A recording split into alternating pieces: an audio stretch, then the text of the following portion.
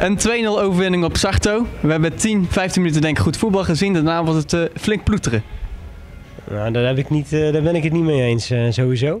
Ik denk dat wij gewoon een goede wedstrijd gespeeld hebben. We hebben constant controle gehad over de wedstrijd. Hè? En dan heb ik het niet, niet, niet eens zonder bal, maar gewoon aan de bal. Hè? Dat je het spelletje dicteert en bepaalt. En ehm, ja, weet je, ik snap wel dat je zegt van een kwartier goed voetbal. Omdat je dan uh, die doelpunten natuurlijk, uh, natuurlijk maakt.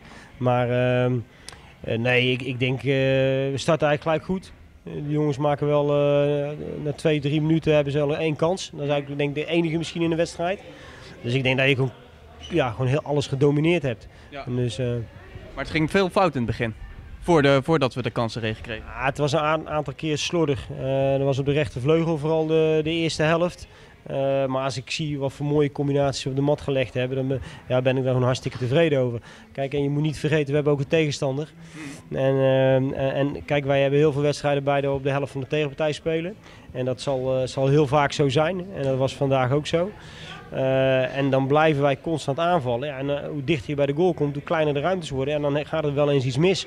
Maar doordat je constant aanvalt, ja, ontstaan er op een gegeven moment ruimtes. En, en daardoor creëren wij onze kansen nou ja, weet je, en dan uh, is het met de rust 0-2 en ik denk dat je daar alleen maar hartstikke, of 2-0, dat je daar hartstikke goed doet.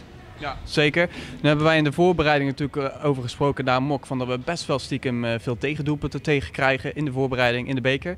Ehm, dat is in de competitie helemaal niet het geval. We hebben slechts één goal tegen gehad. ik denk dat je heel erg tevreden bent over de, over de achterhoede. Ja, nou, van BN Stem vroeg ze het net ook al. Uh, het stond, Toevallig. Stond goed achterin. Nou, weet je, uh, ik zeg altijd, je staat als team goed. Daar begint het mee. Want kijk, op het moment dat wij uh, voorin niks doen, dan hebben we het achterin heel moeilijk. Of als we op het middenveld niets doen. Kijk, en dan kom ik weer bij hetzelfde uit wat ik net zei. Is dat je op de helft van de tegenpartij speelt. En als je dan de bal verliest en je schakelt snel, dus je, dan haal je al heel veel weg voordat zij bij de goal komen.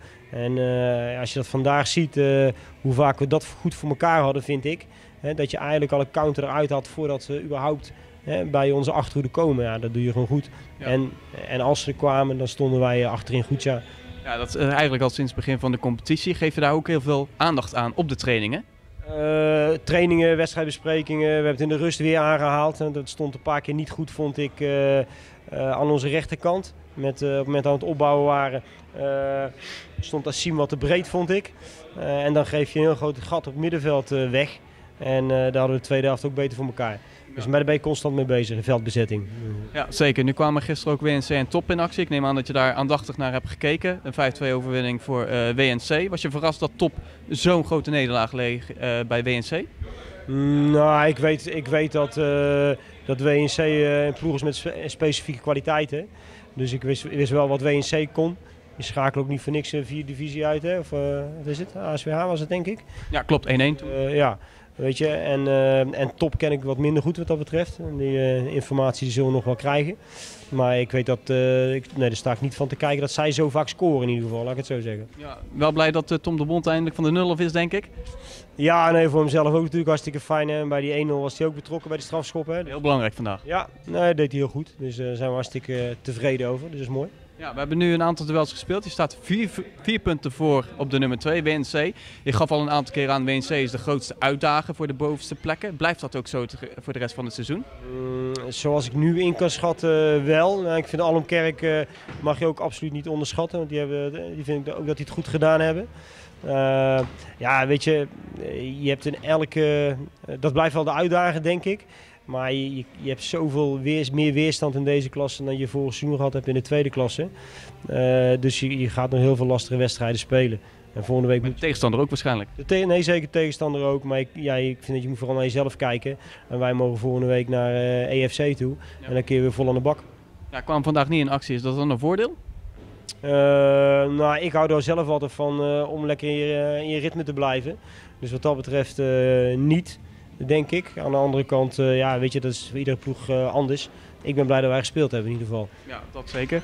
En er kwam van de week ook het nieuws bekend dat uh, Unitas 30 in de derde ronde de volgende tegenstander is dus in de beker. Ben je blij met zo'n sterke tegenstander nu al zo vroeg in het bekertoernooi? Ja, heel cliché. Als je veel wil komen, moet je ze allemaal verslaan. Hè? Maar nou ja, weet je, als je om je heen kijkt, dan zijn we wel makkelijker, makkelijker lotingen. Eh, Zegt die 5-2 nog wat in de, in de voorbereiding? Nee, dat vind ik niet. Vind ik niet. Dat, zal een heel andere wedstrijd worden. Ik vind alleen wij- ik denk dat het een hele mooie uitdaging is. We hebben een, eh, met de spelers ook over gehad. We hebben een blok van zes wedstrijden tot aan de winterstop. En dan heb je eigenlijk met Unitas daar achterop nog een hele mooie uitdaging om eh, goed de winterstop in te gaan. Ja. Dus en, eh, maar we gaan eerst maar eens eh, naar volgende week. eh. Ja. Zeker. Succes daarmee. ja, dankjewel.